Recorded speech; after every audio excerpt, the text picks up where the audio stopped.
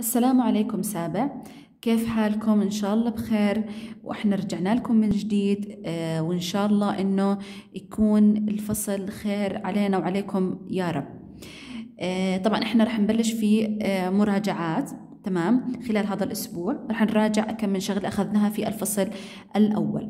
رح نبلش اليوم يا سابع في مراجعة درس القوة. أخذنا في الفصل الأول أن القوة تعريف القوة هي المؤثر الخارجي الذي يؤثر في جسم ما فيغير من حالته الحركية أو شكله أو الاثنين معا. إذا القوة هي مؤثر خارجي. مؤثر خارجي بيأثر لي في جسم. فلما تأثر في جسم رح تغير إما من حالته الحركية رح تغير من حالته الحركية أو من شكل الجسم أو الاثنين معا. وأيضا حكينا حكينا عفوا أن القوة هي كمية متجهة. إيش يعني كمية متجهة؟ يعني تحدد بمقدار واتجاه. تحدد بمقدار واتجاه. مقدار يعني رقم. مقدار يعني رقم واتجاه يعني اتجاه لوين؟ مثلا آه، شرق غرب يمين يسار أعلى أسفل يعني هيك يعني اتجاه.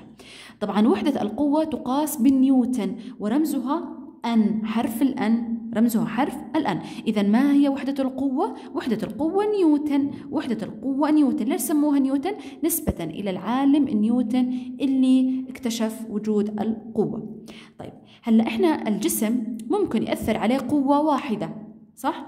ولكن في أجسام بتأثر عليها أكثر من قوة لما يكون الجسم يؤثر عليه أكثر من قوة رح يصير عندي إشي اسمه القوة المحصلة تمام؟ إذا القوة المحصلة لما يكون أنا في عندي جسم تؤثر عليه أكثر من قوة فإيش يعني قوة محصلة؟ هي مجموعة من القوة التي تؤثر في جسم ما في وقت واحد كمان مرة القوة المحصلة هي مجموعة من القوى القوة المحصلة هي مجموعة من القوى التي تؤثر في جسم ما في وقت واحد.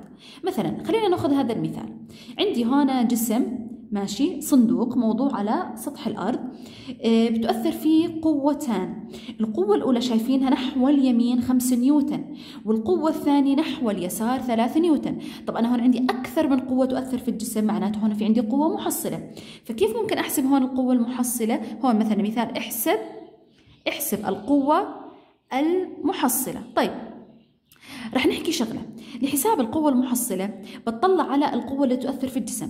إذا كانت هذه القوة باتجاهات متعاكسة فالقوة المحصلة هي عبارة عن طرحهم. أما إذا كانت القوة بنفس الاتجاه فالقوة المحصلة هي عبارة عن حاصل جمعهم. يعني هذا المثال بطلع عندي 5 نيوتن نحو اليمين و3 نيوتن نحو اليسار.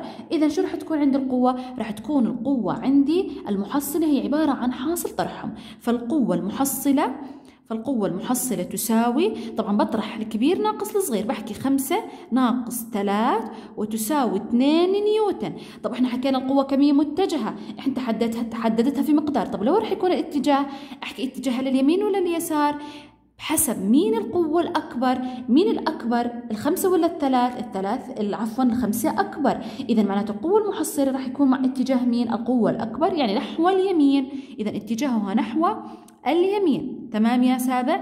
طب نيجي على المثال الثاني هون. احسب القوة المحصلة. هون عندي قوة تؤثر بالجسم 7 نيوتن نحو اليمين وقوة ثانية أيضا 10 نيوتن. هل القوتان بنفس الاتجاه؟ معناته القوة المحصلة هي عبارة عن حاصل جمعهم. إذا القوة المحصلة تساوي حاصل جمعهم لأنهم بنفس الاتجاه.